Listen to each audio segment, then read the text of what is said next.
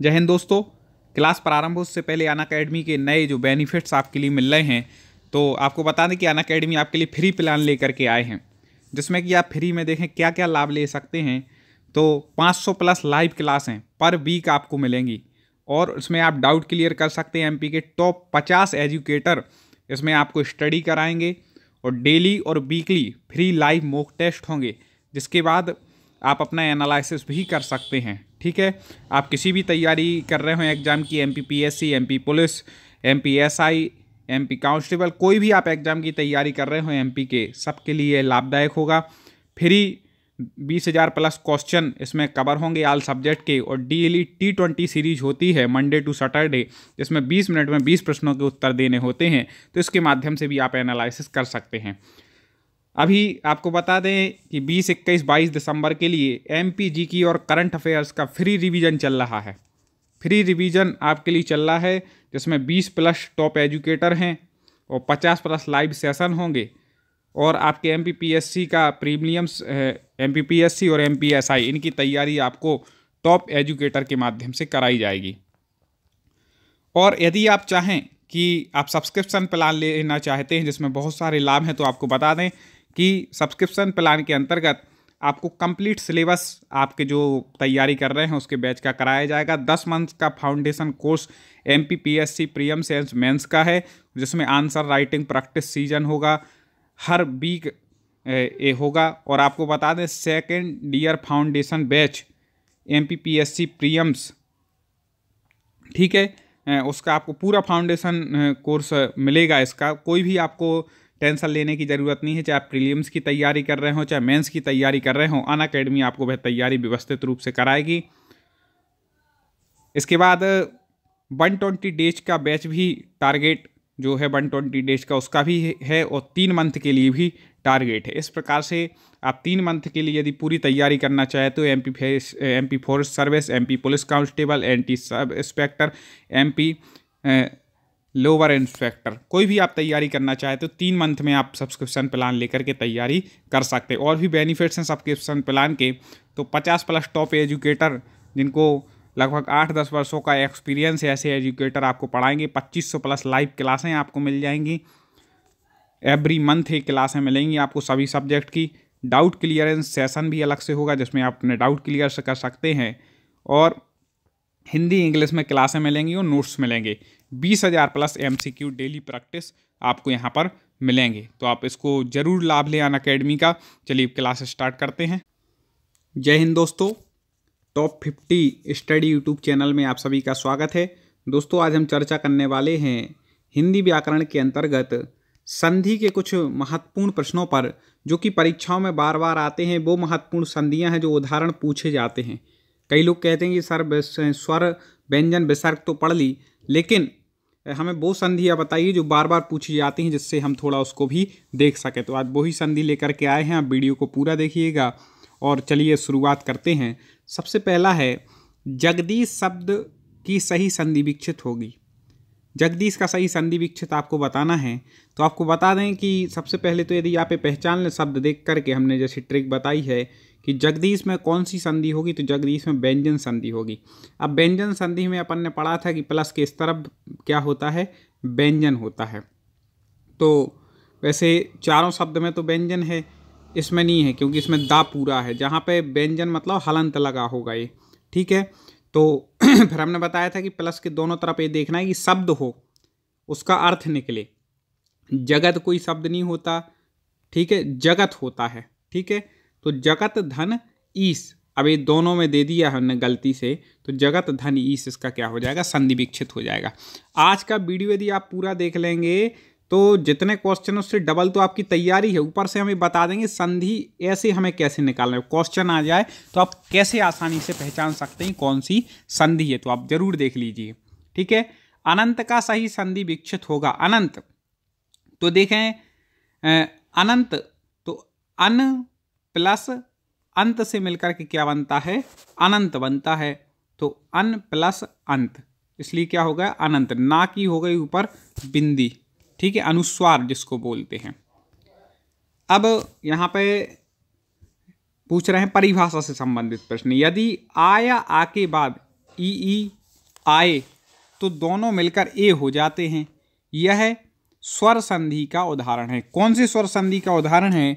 कि आ या आ के बाद ई ई, आए तो उसको क्या हो जाएगा? ए हो जाएगा। तो आपको बता दें, वह है गुण स्वर संधि का उदाहरण। क्योंकि हमने बताया था, एक मात्रा ऊपर हो जाती है ए की तो वह कौन सी संधि होती है? गुण संधि। तो आ के बाद उसको ए हो जाता है, ठीक है?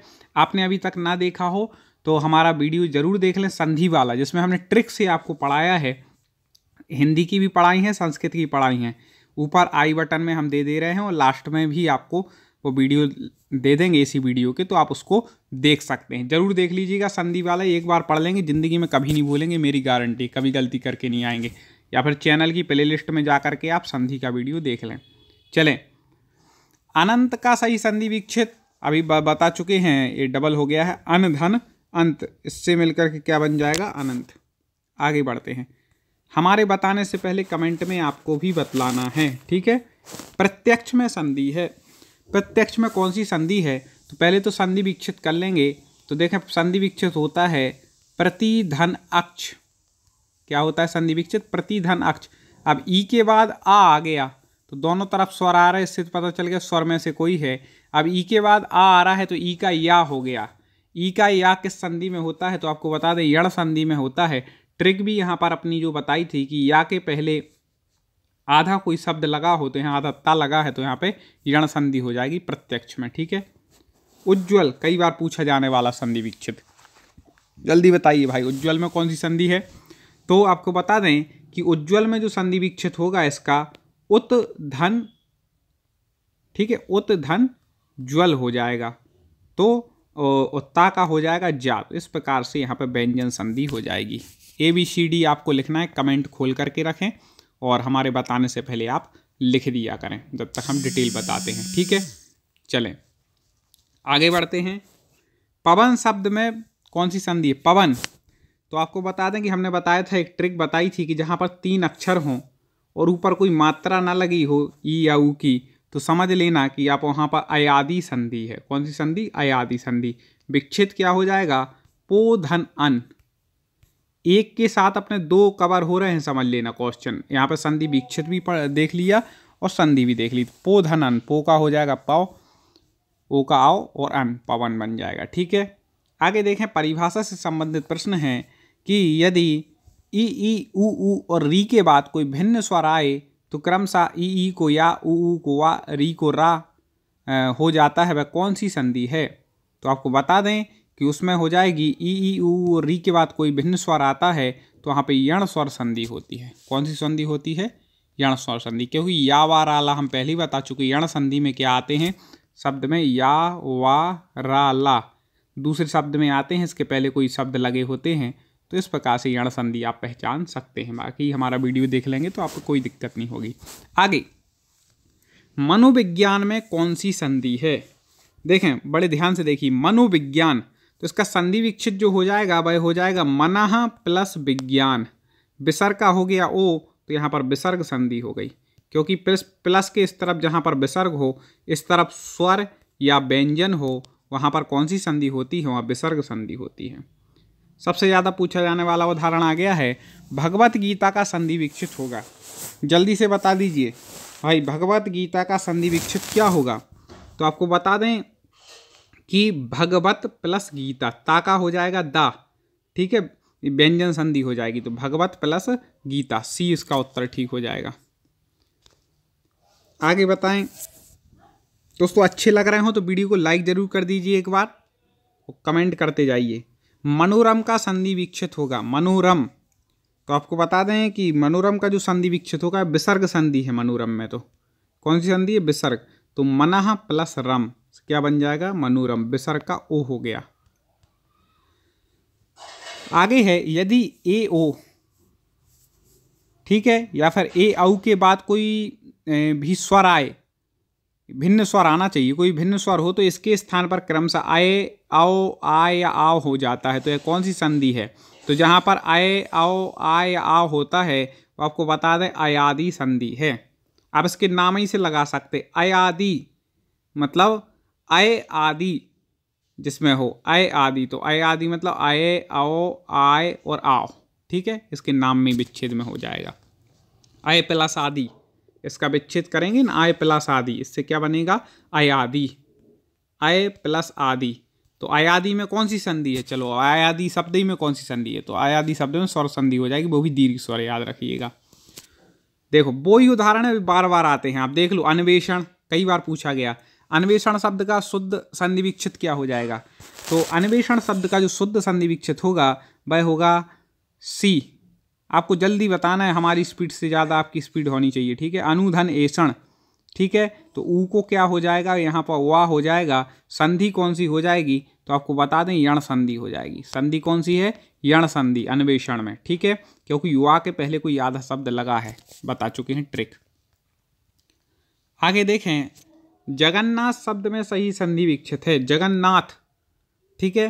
तो आपको बता दें, जगन्नाथ शब्द का संधि विक्षित पहले कर लो अच्छा।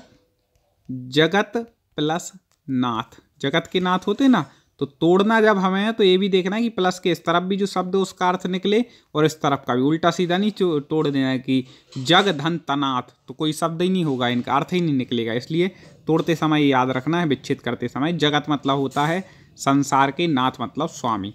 तो जगन्नाथ तो यहाँ पर हो जाएगी व्यंजन संधि क्योंकि जगत में क्या हो गया, यहाँ पर अपन ने हलंत लगा दिया तो व्यंजन हो गया था। जगन्नाथ बन जाएगा, ताका ना हो जाएगा पंचम वर्ण। अभिन्न का संधि विक्षित होगा। ये कई बार पूछा गया, इसमें लोग सबसे ज़्यादा कंफ्यूज हो जाते हैं दोस्तों तो जल्दी बता दें, अभिन्न का संधि विक्षित होगा। अभी हमने नियम बताया है कि ता का ना हो जाता है पंचम वर्ण। तो इसका उत्तर जो हो जाएगा, वह हो जाएगा सी अभित धन ना। ता का हो जाएगा ना, इससे मिलकर के क्या बनेगा? अभिन्न। ठीक है? आगे देखते हैं। यण संधि का संबंध किस संधि विशेष से है? किस संधि के अंतर्गत आती है यण संधि? आसानी से आप बता सकते हैं, कोई दिक्कत नहीं है। आपने स्वर संधि के यदि पाँच भेद पढ़े होंगे तो आपको पता है कि यण संधि है। ठीक है? नवोढ़ा, कई बार पूछा गया। चलिए बता दीजिए, नवोढ़ा का सही संधि विक्षित क्या हो जाएगा? नवोढ़ा। तो नव प्लस ऊढ़ा, आ के बाद ऊ आ गया। तो ऊ को ओ हो गया एक मात्रा हो गई ओ की। तो यहाँ पर नवोढ़ा गुण स्वर संधि हो जाएगी। नव नवधन ऊढ़ा, स्वर संधि का नाम पूछ ले यदि मान लो नभुड़ा में कौन सी संधि है? तो गुण स्वर है और विच्छेद पूछ ले तो नवधन ऊढ़ा।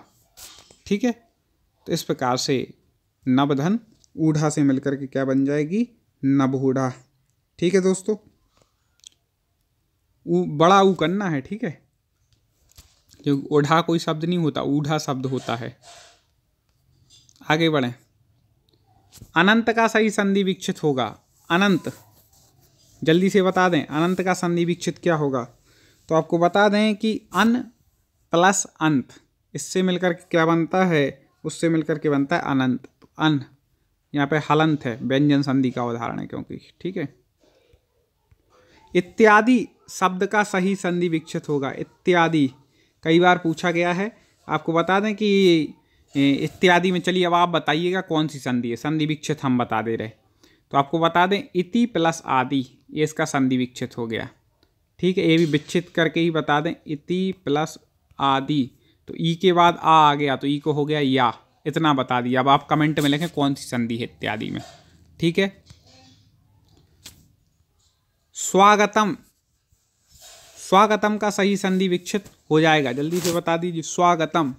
तो सु प्लस आगतम। ऊ के बाद आ आ रहा है तो ऊ को हो जाएगा वाह ये सा आधा बचेगा तो मिलकर के बनेगा स्वागतम। ठीक है? तो वा में आधा शब्द लगा है तो यहाँ पर हो जाएगी यण संधि। ठीक है? आगे देखते हैं। उड्डयन, कई बार पूछा गया, लोग गड़बड़ करके आते हैं। उड्डयन में कौन सी संधि है। जल्दी से बता दीजिए दोस्तों। तो आपको बता दें कि उड्डयन तो इसका जो संधि विक्षित होगा, वह होगा उत्धन डयन उद्धन डैनम उड्डयनम लिखा है शब्द तो उत्धन डैनम तो इस प्रकार से यहाँ पर उड्डयन हो जाएगी। यहाँ इसको याद रखिएगा कि हमें इसको हलंत करना है। इसमें नहीं किया गया प्रिंटिंग मिस्टेक हो जाती है कई बार। तो उत, हलंत है। उद्धन डैनम तो उड्डयनम, ता का हो जाएगा डा। ठीक है? तो इस प्रकार से उड्डयन बन जाएगा। संधि कौन सी है तो आपको बता दें, व्यंजन संधि है इसमें। ठीक है, व्यंजन संधि है।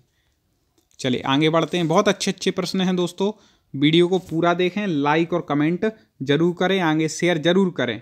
और बहुत सारे वीडियो आपको हमारे देखने हो तो हमारे चैनल टॉप फिफ्टी स्टडी, इस पर जा कर के आप देख सकते हैं, प्लेलिस्ट में जा कर के वीडियो में। अगला देखें विष्णवे विष्णवे का संधि विक्षित क्या होगा? इसका मैं चाहूँगा कि कमेंट में आप बताइए। मैं देखता हूँ कौन इसका सही बताया था। अभी तक तो फिर भी सरल थी। ये थोड़ा सा कठिन है। जल्दी से बता दीजिए विष्णवे का सही संधि विक्षित तो आपको बता दें कि विष्णवे का जो सही संधि विक्षित है, वह हो जाएगा विष्णु धन ए। अब इसका कैसे अपन ने बनाया है विष्णवे तो आपको बता दें। देखें, विष्णु धन ए है। तो विष्णु यहाँ पे ओ आ रहा है।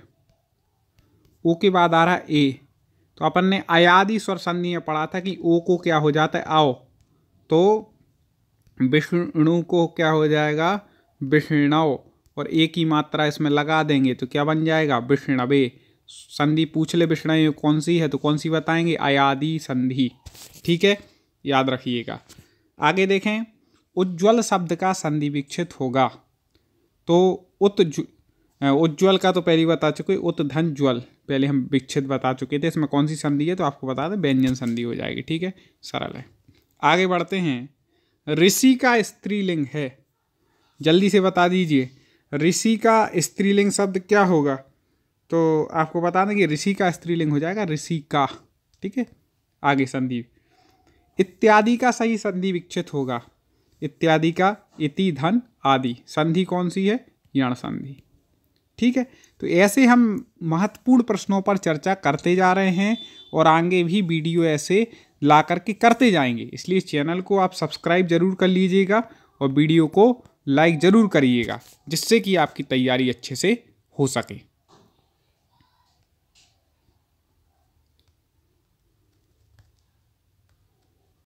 दोस्तों, आपको बता दें, अन अकेडमी और भी कुछ बेनिफिट्स लेकर के आया दस months foundation batch. Prelims and mains answer writing series चल रही है, जो कि 22 दिसंबर तक है। आप जल्दी से सब्सक्रिप्शन प्लान ले सकते हैं, इसका लाभ ले सकते हैं। और तीन घंटे फ्री डेमो क्लास भी अन अकेडमी के माध्यम से आपको मिल रही हैं, जो कि एमपी के फ़ेमस एजुकेटर हैं, वह आपके लिए ला रहे हैं। तो बेस्ट स्टार्ट हो रहा है, बाईस दिसंबर से प्लान हो रहा है, उससे पहले आप इसका सब्सक्रिप्शन ले सकते हैं। इसमें टॉप फैकल्टी आपको मिलेंगी, लाइव क्लासेस मिलेगी, PDF note, weekly mega quiz होगा।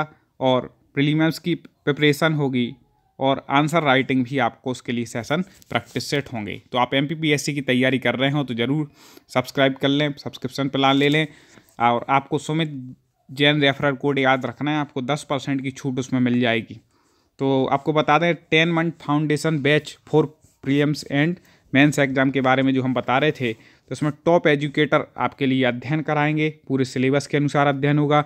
हिंदी में आपको नोट्स भी प्रोवाइड किए जाएँगे वीकली कुछ भी होगी डाउट क्लियर होंगे और सभी सब्जेक्ट इसमें कवर किए जाएँगे, चाहे हिस्ट्री हो जोग्राफी जी के जो भी आपके सिलेबस में सब्जेक्ट हैं, सभी आपके लिए कवर कराए जाएँगे। तो टॉप एजुकेटर हम बता ही चुके हैं, जो कि अच्छे से अध्ययन कराते हैं, वो आपके लिए इसमें अध्ययन कराने वाले हैं। और एक लक्ष्य MP sub inspector three month का फाउंडेशन कोर्स लॉन्च किया गया है, जिसमें तीन महीने में आपकी पूरी तैयारी कराएँगे। इक्कीस दिसंबर से कोर्स लॉन्च हो रहा है तो आप ज़रूर एमपीएसआई की तैयारी कर रहे हों तो आप इस कोर्स को ले सकते हैं। थ्री मंथ्स में आपका पूरा सब एक्सपेक्टर की तैयारी कराई जाएगी, वीकली क्विज होगी, नोट्स भी प्रोवाइड होंगे, और सभी सब्जेक्ट जो पेपर में पूछे जाते हैं, आपके कवर कराने वाले हैं। तो आपको क्या करना है? आपको प्ले स्टोर से डाउनलोड करना है अन अकेडमी ऐप और आपको जाना है M P P S C Vyapam पर। इसके बाद प्लस में जाना है, प्लस में जा कर के गेट सब्सक्रिप्शन में आपको क्लिक करना है। गेट सब्सक्रिप्शन में क्लिक करके आपको ये खुल जाएँगे कि कौन से हैं। यदि आप एक महीने का सब्सक्रिप्शन लेना चाहते हो तो केवल चौदह सौ चालीस रुपये में है। तीन मंथ का छत्तीस सौ छः मंथ का छः हज़ार चार सौ पचास। एक साल के लिए जो वैलिड रहता है, वह है सात हज़ार नौ सौ बीस का और चौबीस मंथ का है, ग्यारह हज़ार पाँच सौ बीस का। यदि आप चाहते हैं कि हमें दस परसेंट की इसमें भी छूट मिल जाए तो आप सुमित जैन जैसे ही लिखेंगे वो प्रोसेस टू पे करेंगे, दस परसेंट का आपको उसका बेनिफिट मिल जाएगा। ठीक है? तो आप इस प्रकार से लाइव क्लासों का भी लाभ ले सकते हैं और अपने डाउट्स भी क्लियर कर सकते हैं टेस्ट का आनंद ले सकते हैं अन अकेडमी के माध्यम से। तो आप एमपी के किसी भी एग्ज़ाम की तैयारी कर रहे हो क्रैक करना चाहते हो तो अन अकेडमी ऐप से ज़रूर जुड़ें।